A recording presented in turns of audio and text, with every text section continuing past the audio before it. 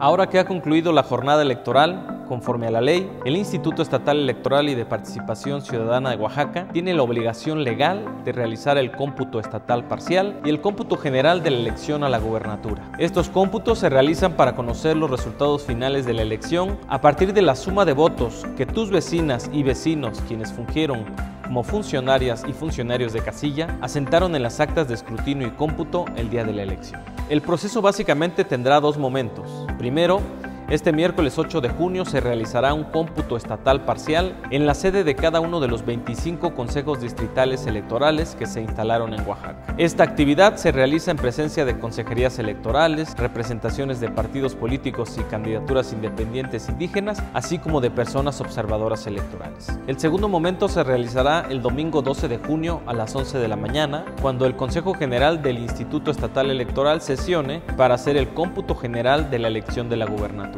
Por lo tanto, revisará las actas de cómputo distrital parcial de la elección de gubernatura, así como el acta de votación de oaxaqueñas y oaxaqueños residentes en el extranjero, y tomará nota de los resultados que en ellas consten para así determinar este cómputo general de la elección de la gubernatura. Al finalizar este procedimiento, el Consejo General del YEPCO declarará la validez de la elección de la gubernatura y expedirá la constancia de mayoría correspondiente a la persona ganadora de la contienda. Concluido el procedimiento anterior, el Instituto Estatal remitirá los expedientes y la documentación respectiva al Tribunal Electoral del Estado de Oaxaca para los efectos legales conducentes. Recuerda que este proceso electoral concluirá al resolverse por los tribunales electorales el último de los medios de impugnación de esta elección.